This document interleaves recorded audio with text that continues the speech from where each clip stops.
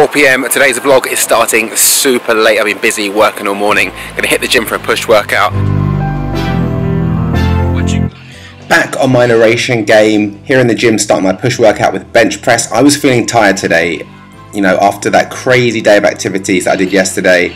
Energy levels were down. So what I did was I still wanted to do this push workout, but I dropped all the uh, intensity down, I brought the weight down of what I was lifting and went for more of a pump, kind of just a blood flow workout, which is good. If you're tired, you can still go to the gym, but maybe don't try and hit the numbers, especially on your big lifts, your money lifts. So my strength lifts and my push workout are going to be my bench press, this one, and even on this I needed a bit of help, and this was lighter than I normally do. Onto the weighted dips and here I wasn't doing reverse pyramid as I normally would do just like the bench press. I dropped the weight down and here I'm uh, dipping 24 kilos for 10 reps. I did five sets of this and it was easier than doing my really really heavy stuff but also because I was fatigued I still found it quite hard. But it was a good blood pumper a good muscle pumper and I burned some calories so boom here I'm hitting incline dumbbell press. I just did four sets of this, 55 pounds each side.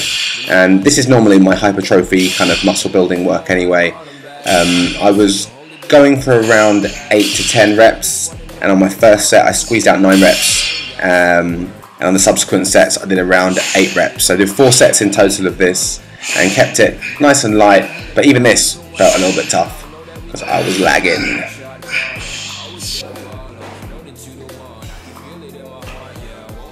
Last exercise of the day and I'm just sharing this machine with two other people. Here I'm doing rope push downs, medium weight, three sets of 12, classic little bodybuilding pump and kept this workout light, easy.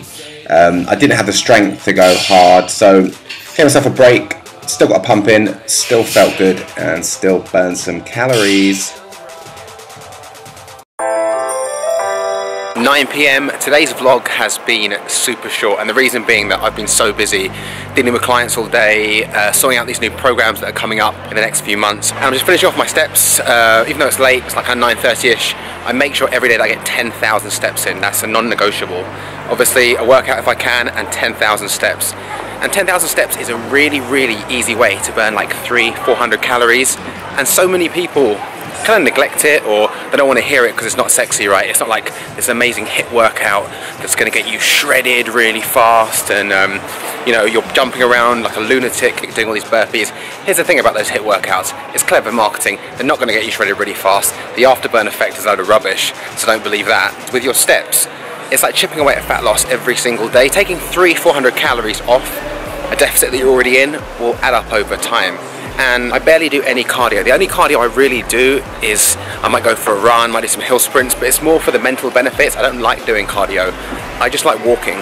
So I walk as much as possible. It's easy, it's effortless, it burns calories, keeps you in that deficit. So if you're not doing 10k steps every day, you better start. Okay, gonna go home, hit the sack, see you tomorrow.